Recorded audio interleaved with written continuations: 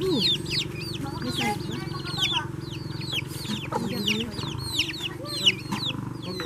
yung mga ganyang pagkabi kasi hindi ganong ano yung laman niya. Hindi nagalaki ng gusto ba? Hindi paras yung ganyan.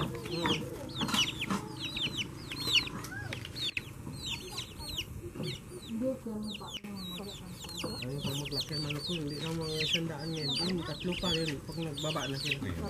Tatlong Dalawa buwan. Tatlong buwan na pataban. Nakaraan nanti, yung program ko. Ay, kaya yan eh, staff niya. Yan ang bondre. Bago yung dito.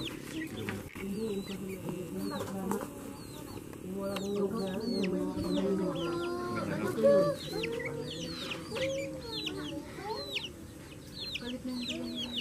Bitig ang duyan. Bisa ingat di bayi yang berangkat?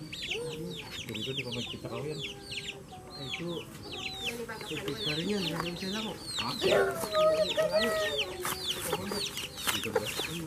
Itu itu itu itu.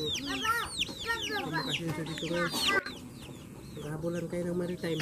Okay lang pulis pero yung maritime malakas mangkanya. Muli. Muli.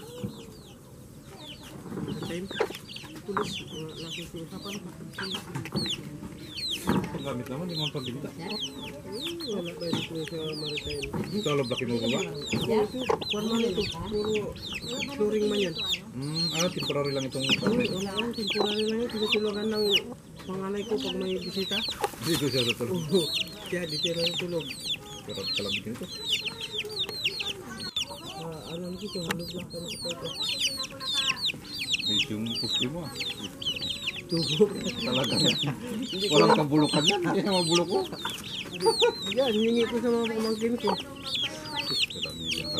Ako na- wala na sila dito? O yun po nga siya, doon sa balabak sila. Ano, lipat na sila doon? Oo. Hindi sila naglipat, nag, may nagkabit din sila doon. Ah, Ilang gulong din na hose ngayon dinala nila doon. Sa balabak na tayo. hindi. Kaya nga ba, ang binigay sa Sabi mo, pa, kaya mo na ako dyan ng mga ano dyan, mababa. padagdagan ko tuloy sa kanya. Saan may tubo niya dito? Ito sarap pa rito? Diyan na sa may baba niya. Ano? Lapit lang pala. Hmm. May tulog ko na tayo, kaya nandun na ako magtapos. Yung doon sa muski, ano yun dyan? Oo. Libre yan dyan. Oh, yan, talagang libre yan. Mismo engineer pa yung nagkabit dyan. Oo. Yung engineer kasi nila ngayon Muslim. Ikaw bungkol-bungkol. Ah, taga bukol? Oo, malapit kila Iday yan. Ano ang pinili?